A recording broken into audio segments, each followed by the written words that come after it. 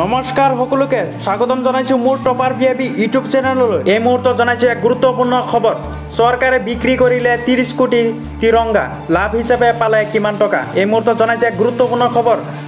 ভিডিঅ'টো শেষলৈ চাব স্কিপ নকৰাকৈ। চৰকাৰে বিক্ৰী কৰিলে ত্ৰিছ কোটি তিৰংগা। কেতিয়াও নভবা নিচিন্তা কথা। কামবোৰ হৈ আছে। কোনোবাই কেতিয়াবা ভাবিছিল নে ৰাষ্ট্ৰীয় পতাকা কলা বজাৰ এখন হ'ব। ৰাষ্ট্ৰীয় পতাকাক দিনে নিশাই উৰাই ৰাখিব পাৰিব। নাই হয়তো কোনোবাই এই কথা আজিৰ পৰা এটা সপ্তাহ আগলৈকে চিন্তা কৰা নাছিল।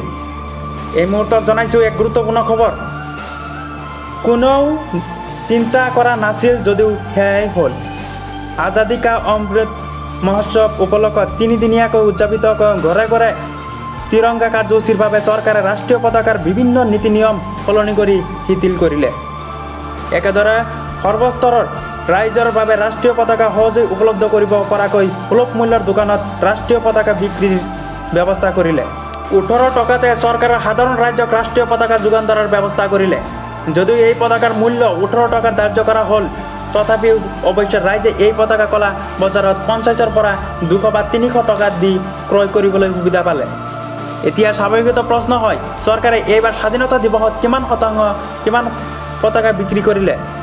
পতাকা বিক্ৰী কৰি কিমান ধন লাভ কৰিলে চৰকাৰে? এই প্ৰশ্নৰ উত্তৰ দিলে ভাৰতীয় ব্যৱসায়ী সন্থাই। ভাৰতীয় ব্যৱসায়ী সন্থাই প্ৰকাশ কৰা মতে, ৰাষ্ট্ৰীয় পতাকা বিক্ৰী কৰিয়েই পাঁচশো কোটি টকা লাভ কৰিছে চৰকাৰে। চৰকাৰে এইবাৰ বিক্ৰী কৰিলে ত্ৰিছ কোটি ৰাষ্ট্ৰীয় পতাকা। এই ত্ৰিছ কোটি পতাকা বিক্ৰী কৰিয়ে পাঁচশো কোটি টকা লাভ কৰিছে।